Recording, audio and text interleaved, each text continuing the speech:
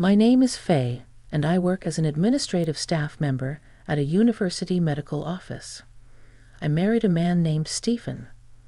I thought this would be the start of a second chapter in my life, but little did I know our marital life would end up being so short.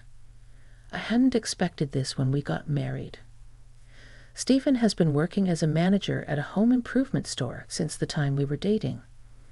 My impression of Stephen from when we first met was that he was kind, cared about family, and was decisive.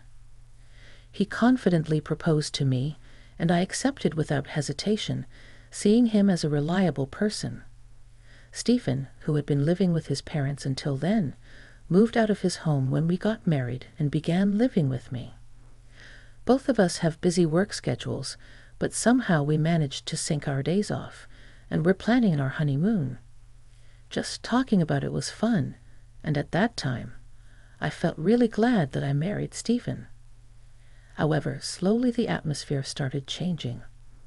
The place where Stephen and I lived was a three bedroom apartment just two years old.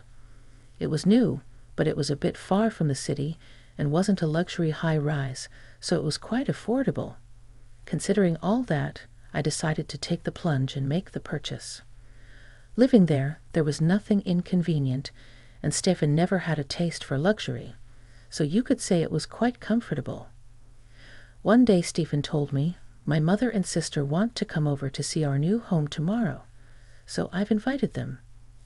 Hearing this, my initial thought was that he should have discussed the date with me beforehand.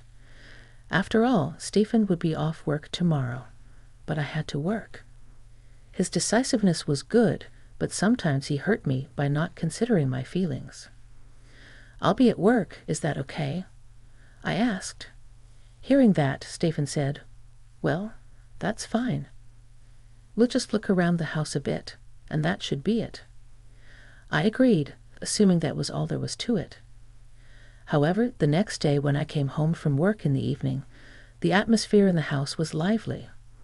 There was a pleasant smell, and when I entered the living room, there were Stephen, my mother-in-law, and sister-in-law. The three of them had prepared food and drinks and were enjoying themselves.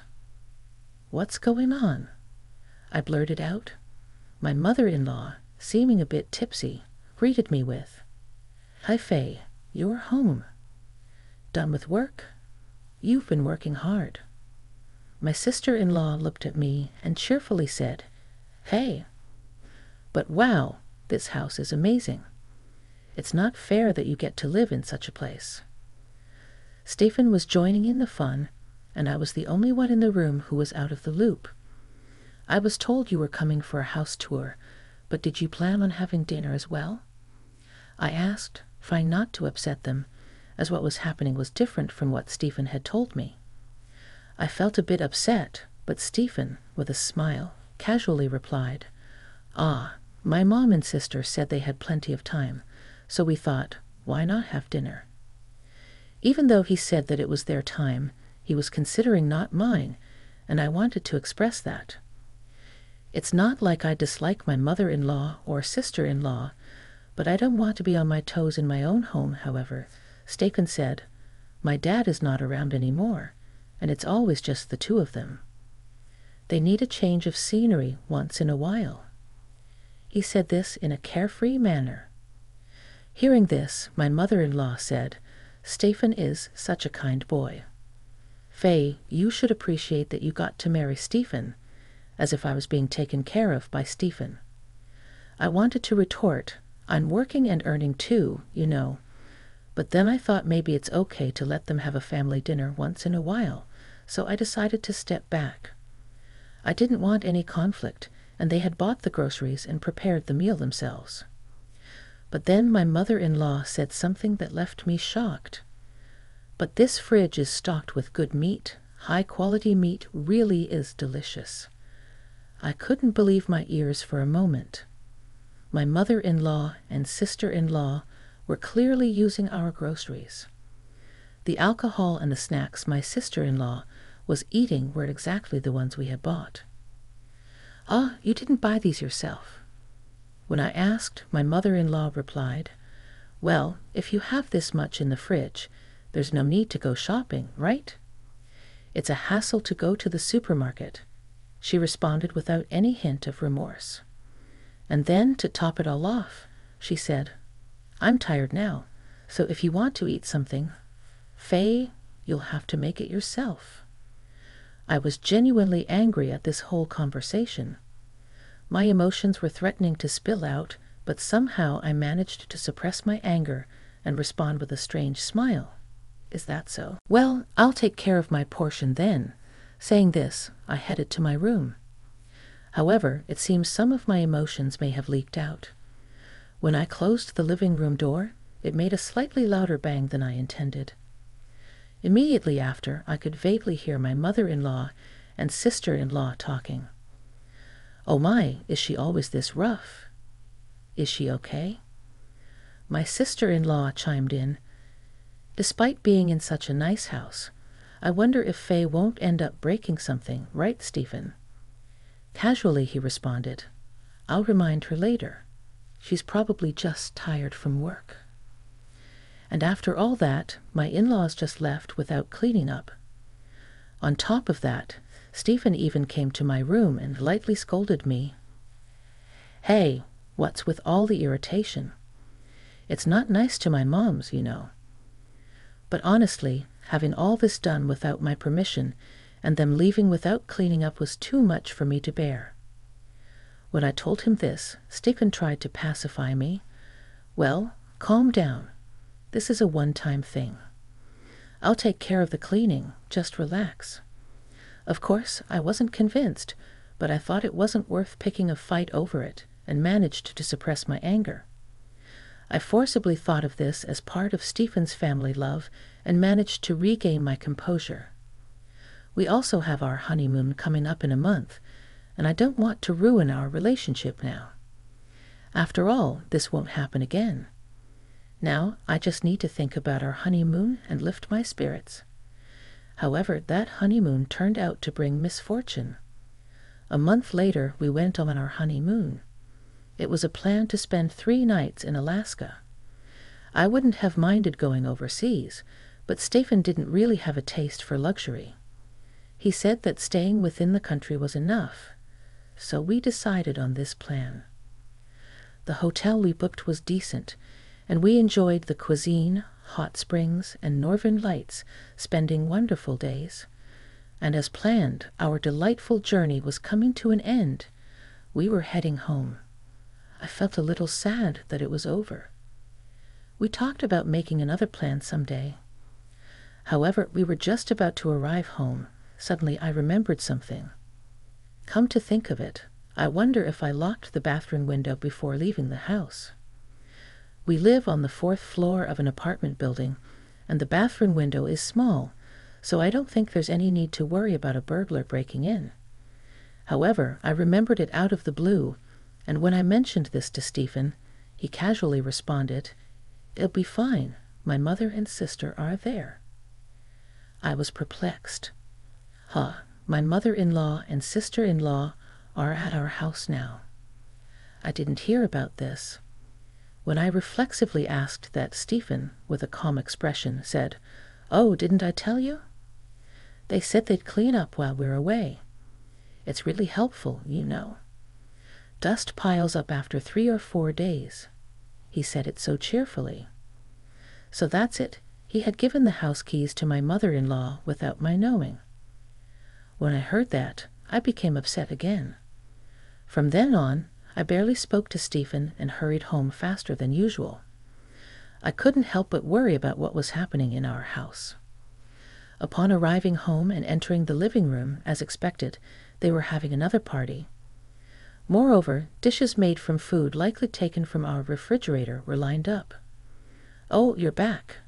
Did you have a good time? My mother in law called out to us casually. Of course, I was in no state to give her a proper answer.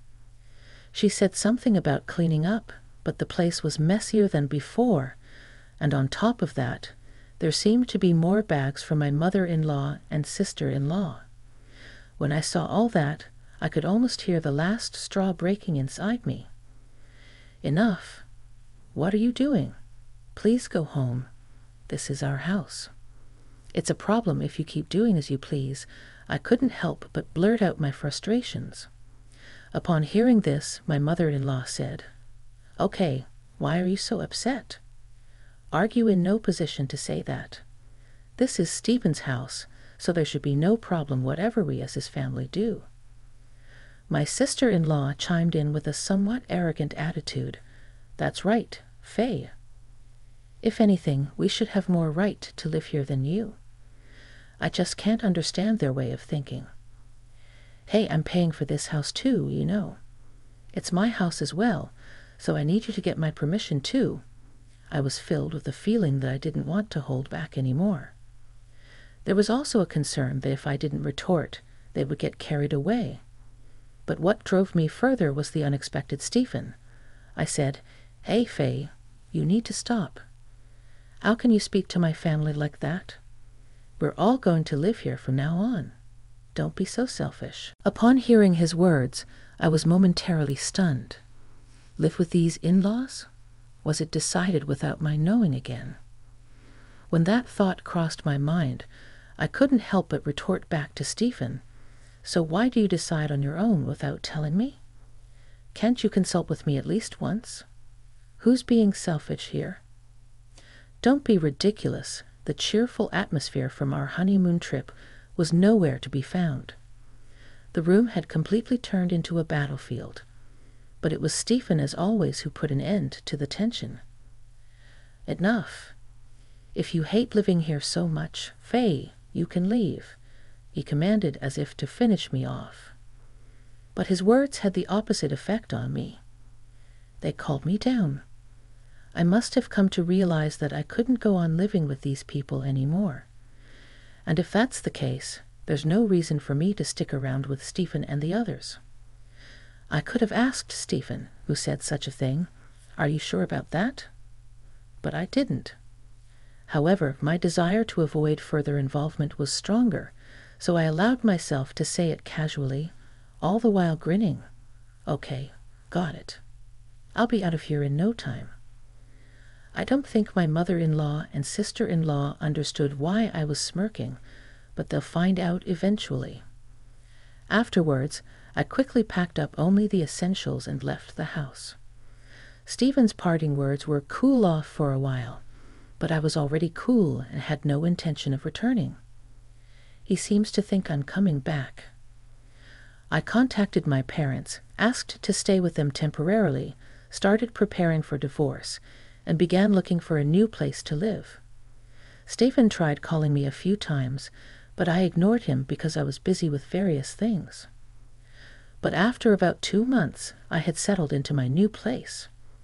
Remembering that I still had belongings at the house I shared with Stephen, I decided to take his call for the first time in a while. And right away, I could tell that he was panicking. Fay, finally. What are you doing? Come back now. He repeated this in a rush. That's right. Stephen thought I was coming back.